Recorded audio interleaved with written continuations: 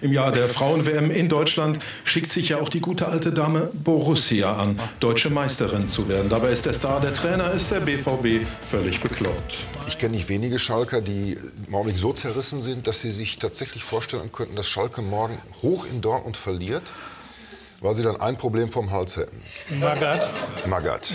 Ja, das, Also das ist, und das ist Kann man da sicher sein? Nee, man kann natürlich nicht sicher sein, weil Magath äh, ist ja, sagen wir mal, der Das ist wie bei Mu- Mubarak. Mubarak von Gelsenkirchen.